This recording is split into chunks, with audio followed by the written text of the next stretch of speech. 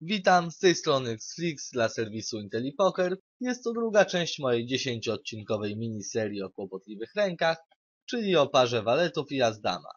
Jeśli nie oglądałeś części pierwszej, to mocno polecałbym obejrzenie jej, nim obejrzysz tę część. Z moimi kolejnymi waletami postanowiłem wybrać inną drogę przeciwko graczowi Luz Aggressive, więc zobaczmy co się stało. Otwieram ze swoimi waletami za trzy ciemne.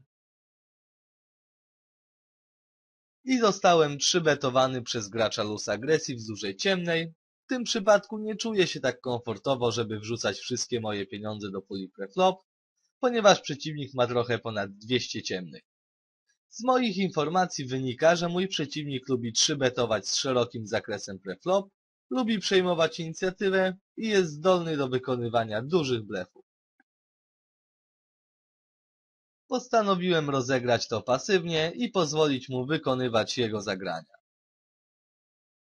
Flop przynosi over kartę, ale generalnie jest dosyć suchy, dlatego sprawdzam jego zakłady na flopie i na ternie.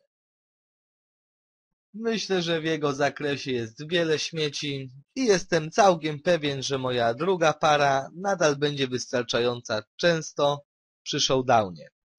Dlatego właśnie sprawdziłem również na riverze.